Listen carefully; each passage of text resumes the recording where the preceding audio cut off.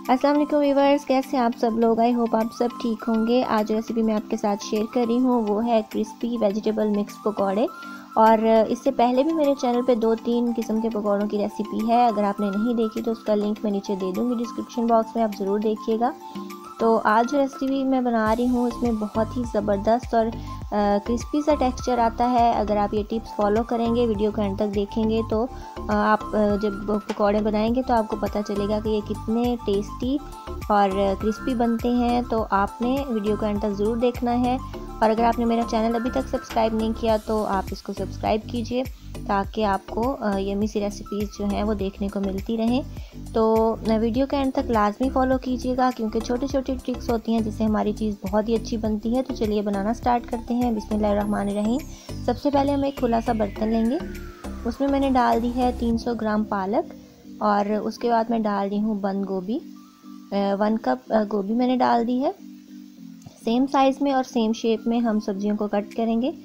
उसके बाद मैं ऐड कर हूँ प्याज। ये मैंने तीन बड़े साइज़ के प्याज लिए थे। इससे पकौड़े बहुत ही ज़बरदस्त बनते हैं। लेकिन अगर आपको ज़्यादा प्याज नहीं पसंद तो आप इनकी क्वांटिटी थोड़ी कम भी कर सकते हैं। और उसके बाद मैं डाल रही हूँ इसमें आलू। आलू मैंने लिए थे दो अदद बड़े साइज़ के। और आप देख रहे हैं कि जैसे फ्राइज़ होते हैं फ्रेंच फ्राइज़ उसी शेप मैंने इसको काटा है। जो गोल गोल छोटे छोटे से आलू काटते हैं, उनसे पकौड़ों की शेप अच्छी नहीं आती। तो ये मैंने बहुत बड़े नहीं काटे ताकि अच्छे तरीके से गल जाएँ। उसके बाद मैं इसमें डाल रही हूँ हरी मिर्चें चॉप की हुई, क्योंकि ये बहुत ही क्रिस्पी और करारे से बनते हैं। इससे टेस्ट बहुत ही ज़बरदस्त आता है। लेकिन अगर आप कम मिर्चें खाते हैं या आपके घर में छोटे बच्चे हैं तो आप ये स्किप कर दीजिएगा। मिर्चें फिर आप नहीं डालेंगे। उसके बाद मैं डाल रही हूँ इसमें गार्लिक जो मैंने डाला है गार्लिक का पेस्ट हाफ़ टेबल स्पून इससे बहुत ही अच्छा सा फ्लेवर आएगा। तो इसके बाद डालेंगे फ्रेश धनिया जो मैंने लिया है फोर टेबल स्पून ये भी हम काट के धो के डाल देंगे।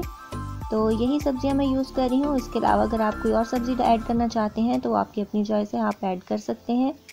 और उसके बाद हम डाल देंगे बेसन। और आपने इस बात का ख्याल रखना है कि बेसन आपका जो है, वो नया होना चाहिए फ्रेश होना चाहिए, जो बहुत देर का पुराना बेसन पड़ा होता है, उससे पकौड़ों का सारा टेस्ट जो है, वो ख़राब हो जाता है। और दूसरे नंबर पे ये कि आपने इसको छान के डालना है। छानने से बहुत ज़्यादा स्मूथ हो जाता है, इसमें जो गुटलियाँ हैं वो ख़त्म हो जाती हैं और आपका रिज़ल्ट बहुत अच्छा आता है। उसके बाद मैं डाल रही हूँ इसमें सूखा धनिया, जो क्रश किया हुआ है, ये मैंने डाला है वन टेबल स्पून तो रेड मिर्च पाउडर डाल रही हूँ मैं वन टेबल स्पून क्योंकि बेसन में जाने से नमक मिर्च कम लगने लग जाता है, इसलिए हमने इतना ही डालना है। वन टेबल स्पून ही मैं नमक ऐड कर रही हूँ तो नमक मिर्च आप अपनी मर्ज़ी के मुताबिक कम ज़्यादा भी कर सकते हैं। वन फोर्थ टेबल स्पून में डाल रही हूँ इसमें हल्दी का पाउडर हल्दी के पाउडर से भी बहुत अच्छा फ्लेवर आता है इसका और कलर भी अच्छा आता है। वन फोर्थ टेबल स्पून ही मैं डाल रही हूँ इसमें गर्म मसाला पाउडर तो ये स्पाइसेस ऐड करने के बाद हमने इसमें पानी डालना है। पानी हम बहुत ही थोड़ा सा डालेंगे, इस तकरीबन हाफ़ कप जितना, क्योंकि ज़्यादा पानी डालने से हमारा जो मिक्सचर है पकौड़ों का वो पतला हो जाएगा और हमारे जो पकौड़े हैं वो क्रिस्पी नहीं बनेंगे। तो आपने थोड़ा सा पानी ऐड करना है और जैसे ही हमें लगेगा कि पानी और ऐड करने की ज़रूरत है तो आप ऐड कर सकते हैं, लेकिन आपने स्टार्ट में बहुत कम पानी डालना है, क्योंकि सब्ज़ियाँ भी जब धोती हैं तो उसमें भी ऑलरेडी पानी होता है, इसलिए आपने इस बात का ख्याल रखना है।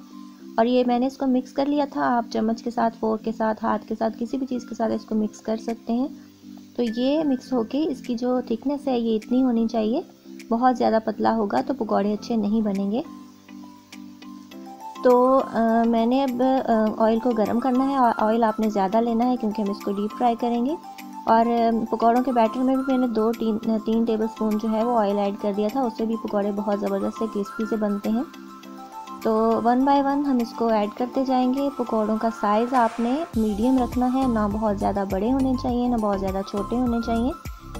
तो इनको हम मीडियम साइज़ में बना लेंगे। और दूसरी ये बात है कि आपने जब ऑयल को गर्म करना है तो बहुत ज़्यादा ठंडा भी नहीं होना चाहिए और बहुत तेज़ गर्म भी नहीं होना चाहिए। क्योंकि जैसे ही हम पकौड़ों को तेज़ आँच पे फ्राई करेंगे तो ये ऊपर से ब्लैक होना शुरू हो जाएँगे, लेकिन अंदर से सॉफ्ट रहेंगे और क्रिस्पी नहीं बनेंगे। तो ये छोटी छोटी सी टेक्निक्स आप ज़रूर फॉलो किया कीजिए ताकि आपकी डिश बहुत अच्छी बने। तो हमने मीडियम फ्लेम पे इनको गोल्डन ब्राउन होने तक फ्राई करना है। और एक बात का और ख्याल रखना है आपको कि आपने जब पकौड़े डालने हैं तो बहुत ज़्यादा हमने इसको ओवरलोड लोड नहीं करना कढ़ाई में और इसके एक दूसरे के ऊपर भी पकौड़ों को नहीं रखना जितने इजीली आपकी कढ़ाई में आते हैं आपने, उसी हिसाब से इनको डालना है। और एक साइड से हल्का सा ब्राउन सा कलर आएगा तो हम इसको फ्लिप कर देंगे, क्योंकि हमें डार्क ब्राउन कलर नहीं चाहिए, उससे बेसन जल जाता है और टेस्ट ख़राब हो जाता है। तो आपको गोल्डन ब्राउन होने तक ही इनको जो है वो फ्राई करना है दोनों साइड से। तो आप फ्लिप करें और जैसे ही आपके पकौड़ों में गोल्डन ब्राउन कलर आएगा, आपने इसको डिश आउट कर लेना है और डिश आउट आप करेंगे इसको पेपर टॉवल के ऊपर या किसी टिश्यू पेपर के ऊपर ताकि वो एक्स्ट्रा ऑयल एब्जॉर्ब कर ले। अगर आप ये चीज़ें यूज़ नहीं करते पेपर वगैरह तो वो फिर जो एक्स्ट्रा ऑयल होता है, उसकी वजह से ये सॉफ्ट हो जाते हैं सॉगी से हो जाते हैं। तो ये भी जो है वो क्रिस्पी नहीं रहने देता हमारे पकौड़ों को तो इसलिए लाजमी आपने डिश आउट जब करना है तो पहले आपने पेपर टावल के ऊपर करना है टिश्यू के ऊपर। और जब वो सारा इसका ऑयल एब्जॉर्ब कर लेगा, तब आपने इसको अपनी सर्विंग प्लेट में डालना है। तो ये मैंने इसको सर्व कर दिया है। हमारे जो क्रिस्पी से गोल्डन ब्राउन से ज़बरदस्त से पकौड़े बन के रेडी हो चुके हैं और बारिश का मौसम हो या सर्दी हो तो ये बहुत ही ज़्यादा अच्छे लगते हैं। आप इनको चाय के साथ सर्व करें या वैसे भी किसी भी टाइम आप इनको इंजॉय कर सकते हैं।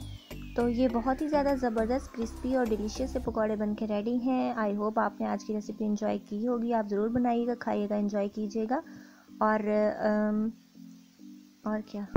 तो मिलेंगे इंशाल्लाह नेक्स्ट वीडियो में किसी ज़बरदस्ती रेसिपी के साथ। Till then take care goodbye अल्लाह हाफिज़।